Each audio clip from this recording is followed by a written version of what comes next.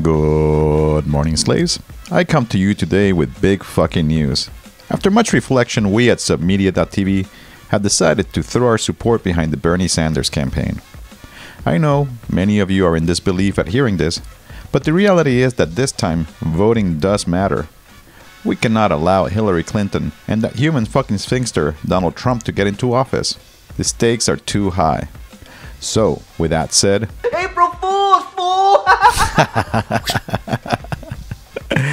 Stay tuned this coming Monday for a special report on the peeps enacting real change in the streets of France, our take on the Donald, and an interview with B. Trabbing from CrimethInc on why anarchists hate democracy.